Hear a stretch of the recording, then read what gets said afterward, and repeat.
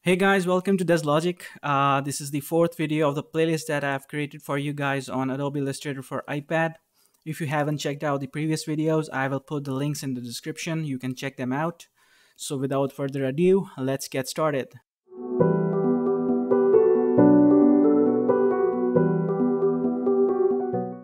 So guys, in this video, uh, I will try to uh, discuss the direct selection tool. In the previous video, we have discussed the simple selection tool.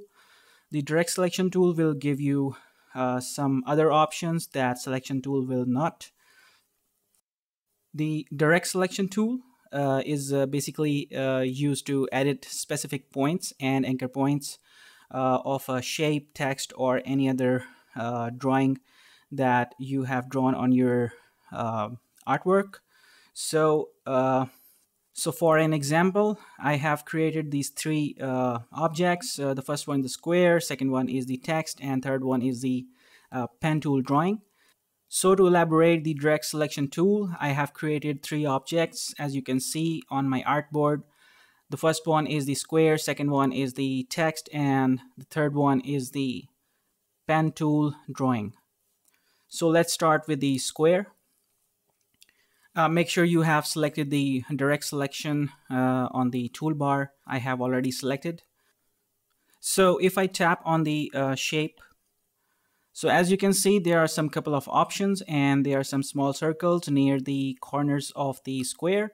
You can uh, select one of the corner as I am doing, as you can see. If you want to edit any corner that you want or if you want to change the overall shape of the square you can select all of them and just tap on one of the small circle and drag. You can see that the shape is now changing. So if you want to change a specific corner uh, you have to select it and then that small circle appears for that specific corner and you tap on that circle and drag as you can see that the corner that we have selected is now rounded. So there are some other options. I will discuss this in a few seconds. So the next object that I have placed in my artboard is the text. So in order to understand the functionality of a direct selection tool, you have to convert this text into outline text. Uh, so in order to do that, uh, just select the uh, text with the simple selection tool. And now tap on this T icon on the right side in the panel section. And here you will see outline text. So tap on it. And now this text is converted into outline text. So now you can edit this text on the basis of the anchor points if you want a specific uh, editing in your text, you can do that now. So for example, uh, with the direct selection tool selected, uh, you can select the whole text or you can select the specific anchor point for example this one and just drag it and you can see that you can change the uh, shape of the O in the hello. So you can edit the text um, with respect to your likeness. Um, so the next one is the uh, pen tool drawing that I have placed in the artwork. Uh, the third one. So let's select it. As you can see, there are some, uh, there are three anchor points.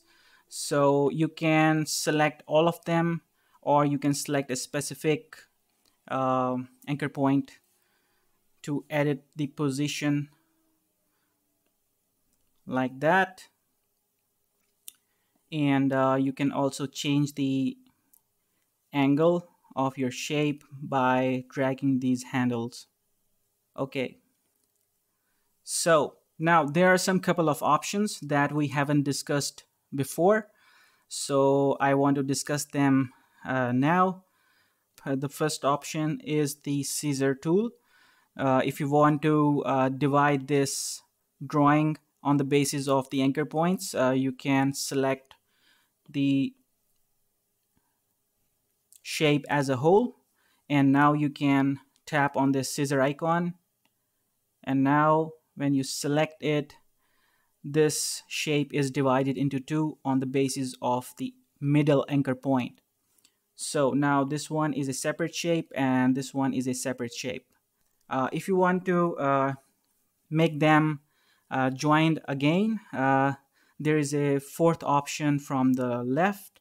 Just tap on it and now this shape is again joined. So the next option that I want to discuss is the um, curve tool.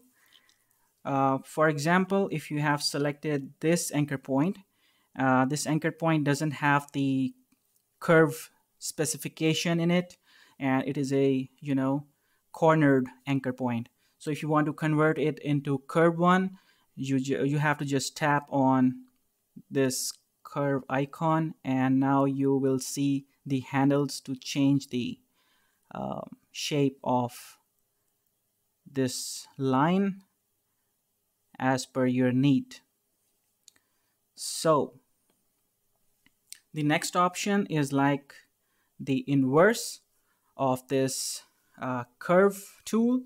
If you want to convert this anchor point that we have converted to uh, the curve one, uh, you can tap on this corner tool and you will see that those handles are now gone. So this anchor point is now cornered.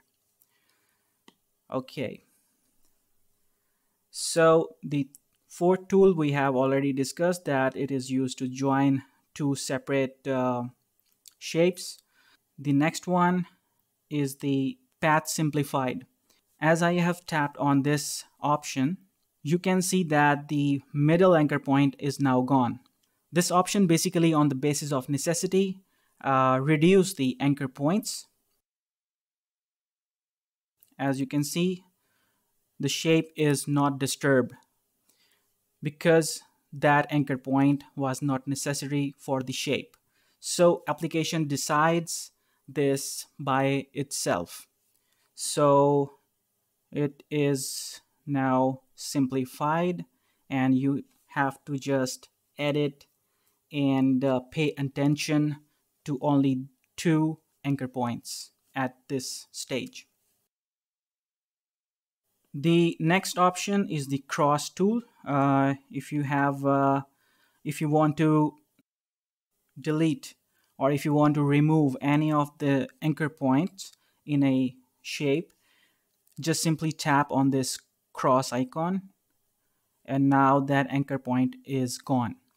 The next option is the bin tool as you probably know that if you tap on it the selected anchor points will be removed like that. So guys that's it for today. I hope you like this video.